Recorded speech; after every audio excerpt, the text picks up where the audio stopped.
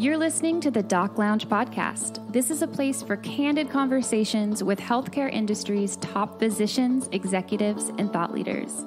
This podcast is made possible by Pacific Companies, your trusted advisor in physician recruitment. I am your host, Summer Gilbert, and I am the Director of Marketing and Branding here at Pacific Companies. And today, my co host is our EVP of Training here at Pacific Companies, Mr. Chris Kahl. Today on the podcast, we are honored to have back with us Dr. Michael Young Lee. Dr. Lee is a family medicine physician working out of Southern California.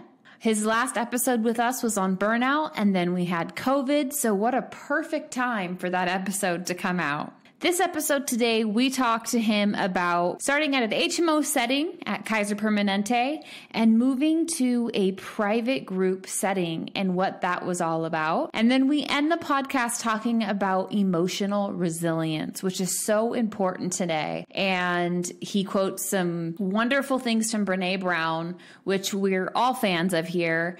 So without further ado, let's start our episode with Dr. Michael Young Lee. Thanks, Dr. Lee, for being here.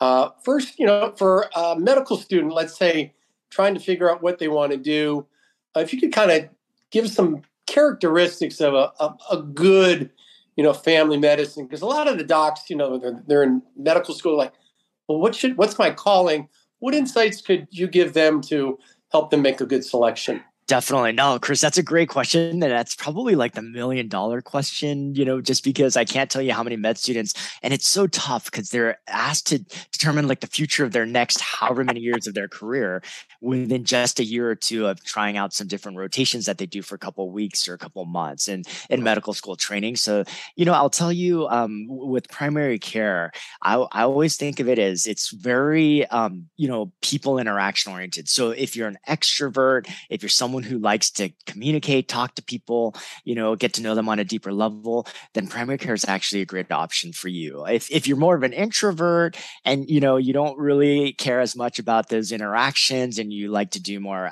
you know, other things, then maybe doing a more procedural based specialty or even something like radiology, you know, something like that might be more, uh, you know, more for you. But, you know, I think a lot of it actually, I'll tell you, has to do with self awareness. You'd be surprised at how many people um, go into specialties but don't even even really understand what they like or what they don't like and they just kind of go into something because they sort of have this sort of vision or idealistic sort of attitude that or mentality that i'm going to save the world and you know or that i want to do all these things and then they go into their specialty and they're miserable because they just didn't take that t- extra time to really think about what are the things I enjoy? What are the things I don't enjoy? What are the things I'm looking for in the next 10 to 20 years of my career?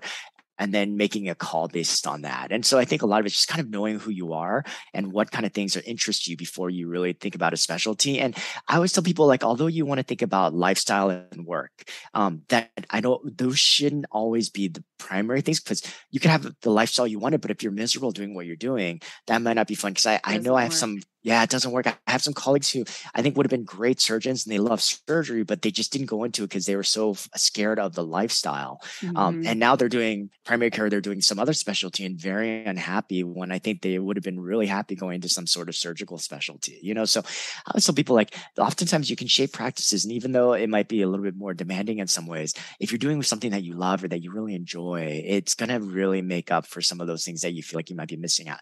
And not necessarily missing out on, but just kind of finding that that balance that you can find in that way. Does it take a long time to switch specialties if you are a doctor and it, you're in something? It, it can. I'll tell you, it can just because of residency training can be a couple of years. And then the other thing is some of these residencies are very competitive. So it may be challenging even getting into some of them. But I'll tell you, if you're in your first or second year of residency and you realize, oh my gosh, this is not for me. Like, you know, primary yeah. care wasn't what I thought it was going to be, or, you know, um, you know, pathology or whatever it is, um, then I would say do it and make and be bold and be courageous and try to make that change. Because I, I always tell people the earlier you can do that and the earlier you yeah find that you're not happy what you're doing, the advice. better it's going to be because you're eh, talking about investing in the next 30 years of your life, you know? And so, mm-hmm. again, if it's something where you're going to have to put in extra few years. So I've had friends who did one specialty, realized they were unhappy, and actually went back and did another residency in that other specialty and are just so much happier five to 10 years later down the line versus just being permanently miserable doing something that you don't really enjoy in that way. Right. Now, out of training, I noticed, Dr. Lee, that you accepted a position with the National Health Service Corps. Yes. Uh, why'd you select this position over others? I'm sure you had a lot of suitors after your skill set. Why was sure. it here? You know, I really enjoyed working with the underserved um, at the time, and especially before I went into medical school. I really did a lot of I did a lot of volunteering with the homeless population, with some of the underserved population, and I really enjoyed that aspect of it. So I kind of I just knew that um, I wanted to do something with the underserved, and I just the National Service Corps was great because it paid for my medical school education and really just um, allowed me to commit and make a commitment to committing time with the underserved because i think if i didn't it's very easy to get sucked into a job that you're just not not that you're in it for the money, but that salary does play a big role. And sometimes you can kind of lose sight of your ideologies in that way of why you went into medicine. So that's why the National Service Corps was great for me because it, it made me commit to wanting to serve that population for a couple of years. And I can't tell you the learning I got out of it was amazing because I mean, it was crazy. You're working with a lot of patients who don't have health insurance, who don't have a lot of things. So you're the go to for everything. And so it was probably the best learning curve out of residency for me to be able to work with that population. And, um, and then now going anywhere else after that it is not as scary or stressful for me. Because if you can do that, I'll tell you, like you can go, th- you can manage and handle a lot of other types of practices for sure. Right. I noticed mm-hmm. um, when we visited with you previously, you you've done a lot of work uh, in your previous job at Kaiser, which mm-hmm. you're no longer at. Right. But you were doing work with residents and kind of bringing them along. How'd that come about? Did you always have that kind of interest to give back, like you just mentioned with the service corps? Definitely. I, what I notice a lot of times with my colleagues is that there are so many things that you learn as you're practicing, and you're like, man, I wish someone had just told me this stuff back when I was a resident. And so, you know, I think having those things, it really made me want to go back and share with the residents, like all the things I learned. Like it was really fun. I, I did a personal, I do a personal finance talk for the residents. Like, like I wish someone would have given me a personal finance talk and told yeah. me about what the difference between like a 401k and a Roth and all these things that, you know, and I, I go back and do a talk on like wellness and, um, you know, and how to set boundaries. And so I think, you know, again, these are all things that I wish someone had done for me when I was a resident. So that's kind of part of why I enjoyed being part of the residency training and, you know, just being able to just be a mentor and being able to guide them was one of the most favorite things I really enjoyed while I was at Kaiser at that time. So you felt vested there, but three years ago, you had a, a change uh, and you went to One Medical. Yeah. What would that change that One Medical attract you from maybe the next step in your career? You know, I, I think I got to an age where I was just thinking, like, what else is out there? It would have been very easy for me to just stay and just in, enjoy, not enjoy, but keep my practice there, keep my panel and do that until I retire. But I think for me, it was a lot of it had to do with intellectual curiosity of just thinking, like, I kept hearing all these things from my friends who were outside of Kaiser, like all these healthcare changes. And being at Kaiser, I have to admit, I was very sheltered from a lot of what was happening on the outside in terms of the healthcare landscape. And for someone like me who's interested in policy, who's interested in how things are going outside, I really wanted to just just make a break, take a change. And I don't, I don't know if you want to call it midlife crisis. I haven't bought my motorcycle yet, but I'm just kidding. But like, but, uh, but definitely like, I think it, it, it, was something where I just felt like if I was going to do it, I had to do it now because obviously the older you are and the more vested you are. And as a partner at, at Kaiser, the harder it is to leave. So I think for me, it just got to a point where I just had to be courageous, take a move. And thankfully, I had the support of my family, which was huge that I was able to do that. And so yeah. I was very grateful that I had that opportunity. Great. Yeah. Now, I know you, you seem to have a, a great interest in this term, emotional resiliency. Mm-hmm. Um, I think you're a resident expert on that. Could you go into your thought process on that for our listeners?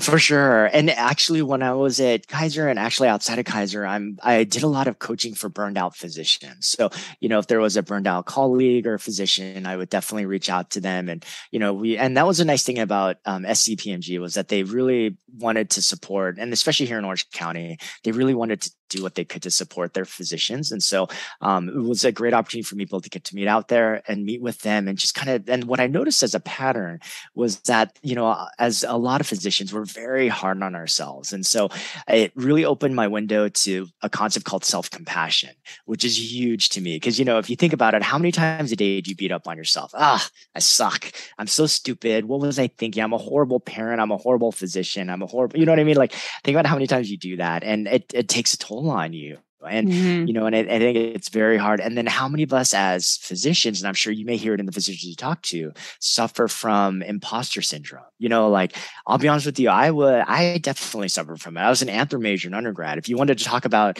you know any type of like other other thing writing essays and things like that that was probably one of my things that I was good at. But when it came to doing organic chemistry or biochemistry, it was definitely not one of my strengths. So there are many moments I suffered from like, am I smart enough to be here? Am I smart enough to be a doctor? And so I think having some of those things um, really affected my emotional sort of uh, state of mind and my resiliency, especially the early years of my practice, where I think I was constantly berating myself for, you know, making mistakes, not doing this, uh, you know, taking everything personally every time I got a bad patient satisfaction score. And I think those things can definitely take a toll on you over time. Do you think that you know that holding yourself accountable, if anything, is um, more difficult for, let's say, the the younger doctors that grew up in social media and is always worried about how people like them, with the older doctor, maybe not necessary. Is there a, a difference between that older and younger doc with what you just discussed? You know, that's a great question, Chris. And I'll tell you, it's hard to know, but I would definitely say that I think social media has made us even more sensitive um, uh, regarding a lot of the comments that we get. If you think about Yelp reviews, like if you think about, you know, Facebook yeah. and Instagram and all these things, it definitely uh, is harder, I think, for this younger generation because there's so many um, places where they can get criticized or commented on or whatnot. So I think we're much more self conscious in that sense too as well. But I'll tell you, I think overall it's really hard. You know, one of the things that um, when it comes to the emotional resiliency was just learning how not to take things so personally. I think I used to be that if someone, you know, a specialist talk to me differently or i felt like they were being discouraging or very like condescending. I would take that very personally. And so i think one of the things that i had to learn over time was learning not to take things so personally and really challenging the stories that my mind would make up. So you know if, if you ever if you know brene brown she's an amazing um, woman who's done a ton of ted talks and written a bunch of books. And one of the things um, if you ever get a chance her book rising strong is really really powerful. And she talks about sort of emotional triggers and then just uh, again again, she calls it a three step process of uh, emotional triggers is when you know you're triggered. You know, um, somewhere you know, like, give me like if you think about an example where you get emotionally triggered by something that someone close to you does or a coworker, you know, someone that walks right by in front of you and doesn't say hi to you. You know what I mean? It's like anything like that can be a trigger. And then once you know you're triggered, then to know how to, ru- she calls it rumbling is a second stage where rumbling is kind of like challenging the story that your mind makes up. So I'll give you an example. Let's say, Chris, I see you, we're good friends, and you literally just walk right by me and don't say hi to me. Within milliseconds, my amygdala, this is the emotional intelligence part, sets off a fight or flight trigger, which then my brain will make up a story to justify why my amygdala got triggered. So my brain within milliseconds will say, oh, Chris is mad at me because I didn't invite him out last night with the guys, you know, or something. Like and it, and again, it may have nothing to do with any of that, but my brain is so fast in making up a story that then, of course, as we know, it turns into a big spiral and that can get ugly. So then the rumbling piece of it would be for me to take a step back and say, okay, take a deep breath. I, I'm triggered. My mind is making up the story that he's mad at me because of this. What else could actually be happening? You know, it, it, you know, giving Chris the benefit of the doubt. Maybe he just didn't see me. Maybe he's he had to rush off to go do something and wasn't paying attention. You know, things like that. And then the third stage is the revolution, which is now that I have that data, what am I going to do with that? And I think one of the things that often happens to us in, in medicine and why we absorb so much of this emotion, but most of us were trained to suppress and keep moving. So how many of us were taught keep your head down and just keep going? You know, like yeah, and, oh, and,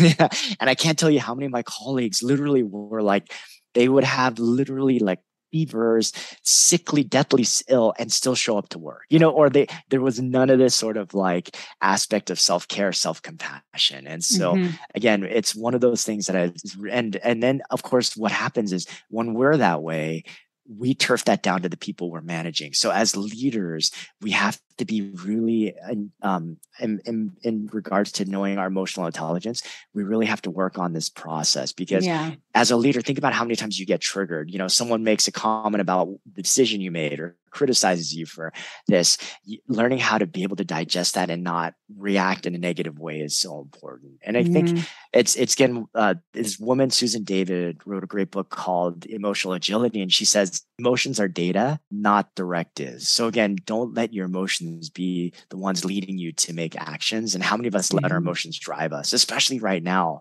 considering covid and how stressful things have been? Yeah. Emotions aren't facts. That's what I've been told.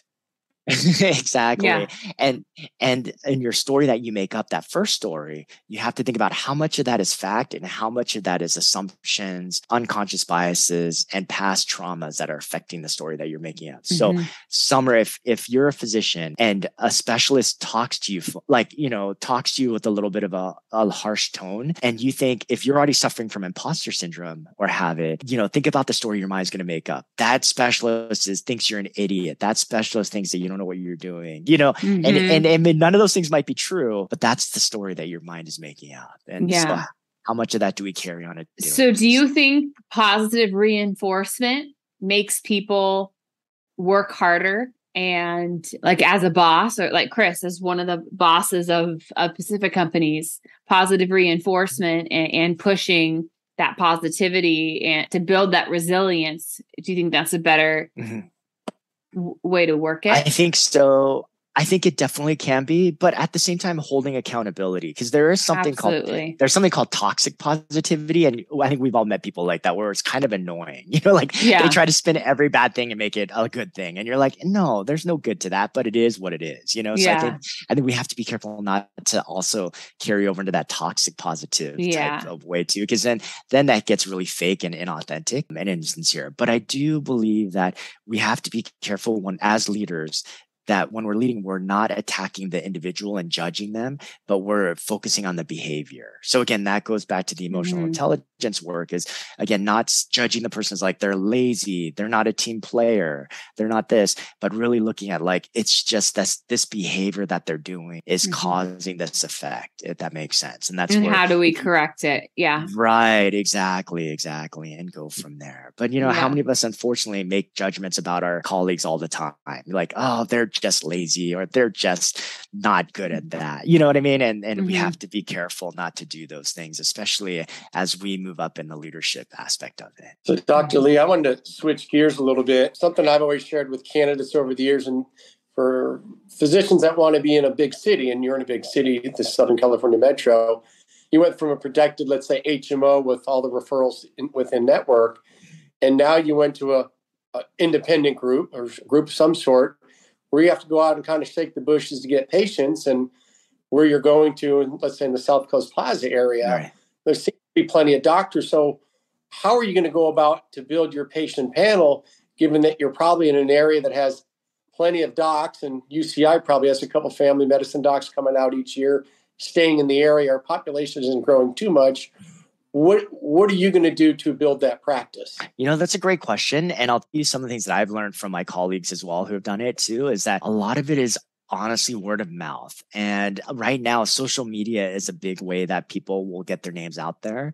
Um, and whether they want to subspecialize in something like nutrition or, you know, wellness or whatever that looks like. But I'll tell you, one of the biggest things that I find for me, at least, that has helped me is word of mouth. You know, you actually provide good care, you connect with people well, and you'd be surprised. Everyone will they will tell everybody. You know what I mean? It's really funny. I've had patients that are like, "Oh my gosh, I've connected with you so well. I'm going to tell my family about you. I'm going to tell my friends." And I can't tell you like over time how much of my panel has built up just from word of mouth more than anything else. Because I think right now, especially, you'd be surprised because of our primary care shortage, people are really challenged with even trying to get in to see their primary care provider within a decent amount of time. I mean, mm-hmm. you know, a lot of practices are even backed up. You can't even get in to see your primary care provider for like a month or two in some places. So that is access is definitely one of the nice things that we offer at our practice is, you know, we can get patients in soon from their appointment time. And that definitely makes a big difference in terms of attracting more patients. Mm-hmm. I have a quick question. Have you noticed a rise in telehealth since COVID?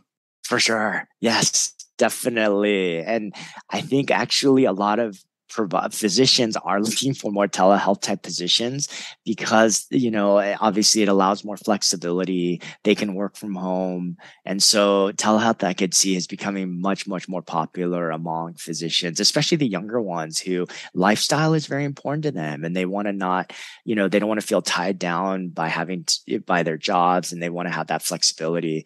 That definitely is a way for a lot of them that they're looking for for sure. Do you think there's a negative to that though? I do. I do. And I'll be honest with you, a lot of times I feel like it's very hard to develop a connection with the patient just virtually. Like you can do it to a point, but I find that there's so much lost when, and I'm sure you've maybe felt this if you've ever had a telehealth visit versus an in-person visit, you know, at least from my perspective, I, you know, I'm, I'm not really able to read them as well. I can't see a lot of body language. You know, there's that energy that you get when you're seeing someone physically versus, and, and actually examining them versus just seeing them, uh, you know, I'll be like, Oh, can you push here? You know what I mean? But like, that's not the same as you do an exam on them. Mm-hmm. So I do think that there is some loss. And I do believe that telehealth should supplement in person and office visits. I just don't think virtual visits is going to be the only way to go. I just don't find yeah. that that's going to be the way to at least provide the most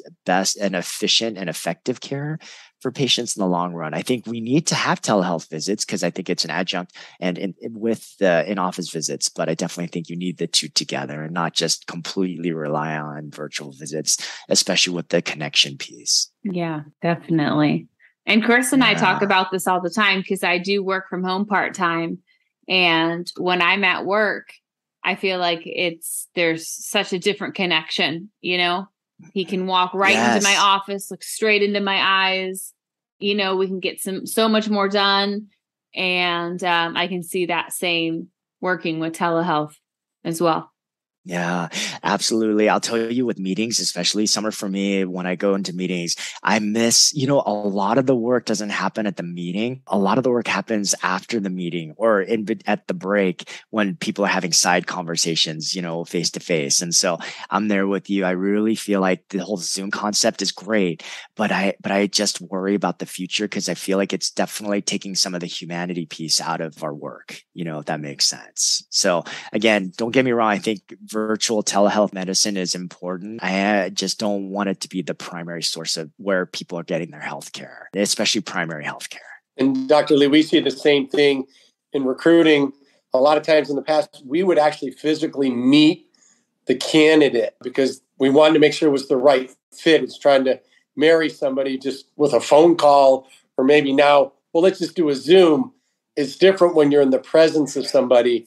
And so, even in our industry, it takes away some of our ability to appropriately advise the candidate and the client to say, this is a good fit because we're missing some important information. Totally. No, no, Chris, I appreciate sharing that. I also personally think that it takes away from the physician in these interactions because I can tell you a lot of my joy comes when I have the patient in front of me and we're talking face to face. I actually, I don't know, I could be wrong in thinking this, but I think burnout's going to be worse if everyone just did only virtual visits, you know, in some sense, because then it just becomes more like an interaction more than it is like a connection, if that makes sense. And mm-hmm. so, you know, how much of our visit is the patient sharing something with me and me being able to like just touch them on the shoulder and be like, oh my gosh, that must be really hard. Or, you know, have to just give them a, a, like a cancer diagnosis and be able to give them tissue and give them a hug or something. Like you can't do that. Uh, you know, the, a lot of that physical connection piece is going to be lacking when you do these virtual visits. And then when you start looking at every patient as just a, a transactional visit, then it just becomes a job. It doesn't become a calling. You know, the whole concept of yeah. that, to me at least, I feel like gets taken away in that in that sense. All right. Well, Dr. Lee, for me, this was a, a, great visit with you. I learned some things on your yeah. emotional resiliency. So I was very excited to be here today. Uh, oh, thank you so much. And I can't tell you, it's such a privilege for me to get asked to do these things. It's one of those things I love to share. And definitely i think there's and one of the pieces that i feel like sometimes we're lacking is a lot of times is that mentoring piece of like having more experienced physicians really mentoring and looking out for the younger ones the challenge i think nowadays is healthcare has gotten to the point where i think a lot of the more experienced physicians are drowning that they don't even have time to mentor a lot of times the younger physicians so we really yeah. have to hopefully create avenues like this somewhere where you have podcasts like this where you, you have these uh, places where you know younger physicians can actually just listen and hear stories because I find mm-hmm. that stories are sometimes the best things to do. And and also being reminding that they're not alone. Because I think exactly. a lot of times I remember when I was a younger physician, I was like, am I the only one that saw like, you know, that am I the yeah. one that feels like they suck or like that I, you know, am I the only one with imposter syndrome or that mm-hmm. am I the mm-hmm. only one that's burned out? And it was always nice to be able to talk to an older experienced colleague to be like, nah, man, I, I went through the same thing or I'm going through it right now. And it really helped to have yeah. that connection with some of the older, like more experienced physicians for me. And that's why we love having the Doc Lounge podcast because, you know, 90% of our listeners are physicians, you know, or students, med students, fellows, residents, and they learn a lot, whether yeah. it be a, a doctor telling a case. We have another series called Ask the Expert, where they're they're an expert in something and they, you know, give their knowledge. Um, so you know, we talk to uh, hospital administrators and and hear their side mm. of the story. So I think this is good what we're doing, and, and I appreciate your your kind words. Yeah, no, thank you again, and this is great, and thank you again for inviting me. This is such an honor to be here. Of course, of course. Thank you to all our listeners. If you'd like to be notified when new episodes air, make sure to hit that subscribe button. And a big thank you to Pacific Companies. Without you guys, this podcast could not be possible. If you would like to be a guest, go to www.pacificcompanies.com. Thank you.